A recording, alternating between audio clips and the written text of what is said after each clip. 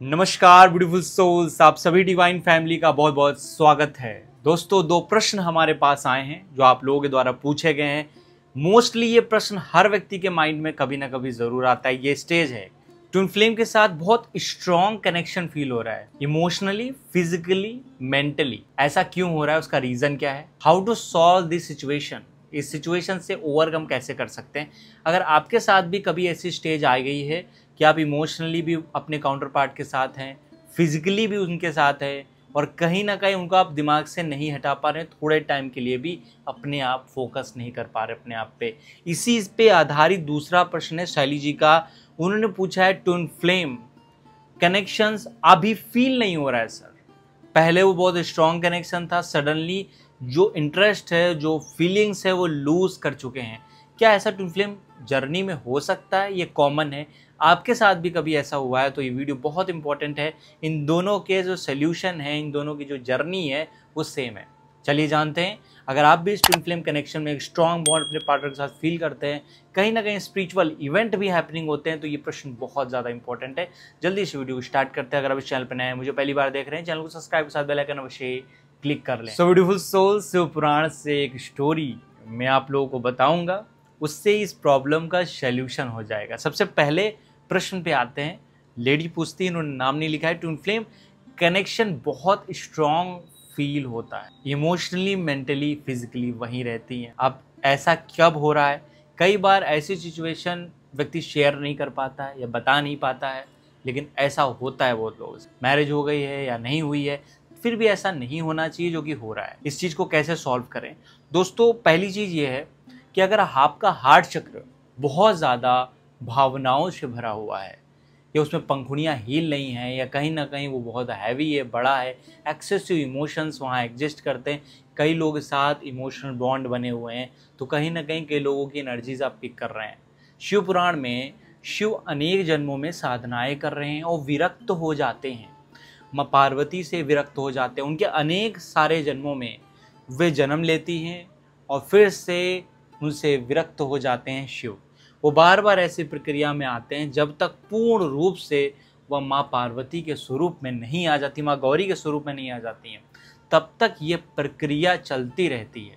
और ये प्रक्रिया आप में भी चल रही है, हर एक मनुष्य में चल रही है, लेकिन सबका स्टेज अलग है। आप जैसे ही डिवाइन फैमिली कुछ साइंस और सिम्टम्स को देखती है, बहुत स्ट्रांग फील करती है, शिव की तरफ़ आकर्षण होता है, वो उनको फॉलो भी करती है, कई बार उनकी एनर्जीज भी पिक होती हैं और हर बार वो उनको हटा नहीं सकती, उनको भूल नहीं सकती है और उन्हीं को सब कुछ मान लेती है। और ये कोई मानना गलत नहीं है। लेकिन कहीं ना कहीं सोसाइटी के पर्सपेक्टिव से आप जब देखते हैं तो आप अपनी बाउंड्रीज पाएँगे, बहुत सारी चीज़ें आप नहीं कर सकते बिकॉज़ ये सोल की जर्नी है। और आपको उसी के रिगार्डिंग भी चलना होता है अदरवाइज़ आपको कहीं ना कहीं प्रॉब्लम होगी पेन होगा, आप उस सोसाइटी के रिगार्डिंग अच्छा फील नहीं करेंगे, आप ब्लॉक हो जाएँगे।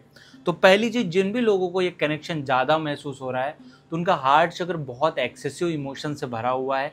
इस फ़ेज़ में आपको क्लिनजिंग करना है हार्ट चक्र की। डीप क्लिनजिंग इसके बहुत सारे साधन और माध्यम हैं।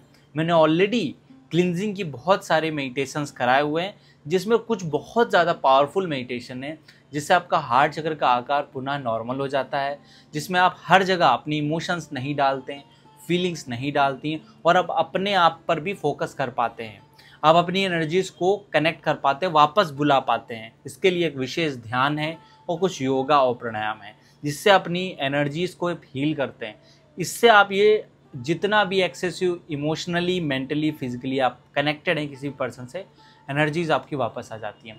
लेकिन फिर भी अगर नहीं आ रही है सब करने के बाद भी तो आपके पास एक ऑप्शन है, सामने वाले की जब अवेकनिंग होगी वो कहीं ना कहीं रियलाइजेशन करेगा, कोई ना कोई कर्म आपके साथ उसका पेंडिंग है, इसी वजह से ये हो रहा है। और ऐसे कनेक्शन मोस्टली वन साइडेड ही होते हैं, क्योंकि अगर ऐसा हो रहा है, एक व्यक्ति को बिल्कुल नहीं हो रहा है, एक व्यक्ति को बहुत ज़्यादा इमोशंस आ रहा है तो वन साइडेड इमोशंस होगा। अब यहाँ पे प्रॉब्लम आपको ज़्यादा होगी, क्योंकि आपका प्रॉब्लम बहुत ज़्यादा हैवी हार्ट फील करेंगे पेन फील करेंगे, ध्यान कर नहीं पाएँगे, जैसे ध्यान में बैठेंगे, बहुत तेज़ी से पेन होगा हार्ट एरिया पे। और ये पेन आपका लिए बहुत ज़्यादा बर्दाश्त के बाहर होगा। और कहीं ना कहीं इसका एक ही सोल्यूशन है, आप कंटिन्यू हीलिंग कराएँ या फिर कंटिन्यू ध्यान करके इसको रिलीज़ करें। जैसे ही आप नॉर्मल होते हैं, सबसे पहले अपनी फ़िज़िकल बॉडी को हील करिए। अगर आपकी बॉडी हील नहीं है तो कभी भी आप ट्विन फ्लेम जर्नी को कंप्लीट नहीं कर सकते। फ़िज़िकल बॉडी का हेल्दी रहना बहुत ज़रूरी है। देन इमोशनली फिर मेंटली अगर आप तीन लेवल्स पे अपने माइंड बॉडी सोल को अलाइन करते हैं तो आपकी जितनी भी ये प्रॉब्लम है एक्सेसिव इमोशंस की वो ठीक हो जाती है। और कहीं ना कहीं उसी फ़ेज़ में आप देखेंगे आपके काउंटर पार्ट वापस भी आ गए, कई लोगों के वापस आए हैं और बातचीत होने लगी है। अगर इस वर्ल्ड में वो नहीं भी रहते तो आपसे कहीं ना कहीं टेलीपैथीली कनेक्टेड हो जाएँगे और आपको गाइडेंस देने लगेंगे। नेक्स्ट जो आपके लिए इंपॉर्टेंट प्रश्न, इसी से आधारित है ट्विन फ्लेम कनेक्शन पहले फील होता था, अभी सडनली फील होना बंद हो गया है। उनके साथ एक डिसअटैचमेंट पैदा होता है। दोस्तों ट्विन फ्लेम कनेक्शन होता है, आपके इंटरनल अवेकनिंग के लिए होता है, आपके रियलाइजेशन के लिए होता है। अगर हार्ट चक्र बहुत संकुचित हो रहा है और बहुत स्टक हो रहा है, छोटा हो रहा है तो कहीं ना कहीं आप डिसअटैचमेंट फील करेंगे। अगर आपने अपनी इमोशंस को दबा लिया, उस समय हार्ट चक्र से संबंधित मंत्र की चैंटिंग करनी चाहिए, जिससे आपका हार्ट चक्र ओपन हो। हील हो बैलेंसिंग हो तो ऐसे केसेस में डिसअटैचमेंट पैदा हो रहा अगर वो ट्विन फ्लेम है देन अगर वो कोई सोलमेट है या फिर कोई कार्मिक है तो उससे डिसअटैचमेंट पैदा होना बहुत ही स्वाभाविक है। ऐसा 90 परसेंट केसेस में होगा, वो आपका ट्विन फ्लेम होगा ही नहीं। अगर डिसअटैचमेंट हो रहा है तो वो ट्विन फ्लेम आपका नहीं है। अदरवाइज़ अगर ट्विन फ्लेम है, आपने कंफर्म कर लिया है चार्ट से टैरो से, बहुत माध्यमों से, आप खुद भी जानते हैं कि वो हमारा ट्विन फ्लेम है। देन फिर भी आपको डिसअटैचमेंट पैदा हो रहा है तो इसका मतलब यही है कि आपके हार्ट चक्र में इश्यूज़ क्रिएट हो रहे हैं। आपको मंत्र चैंटिंग करनी चाहिए।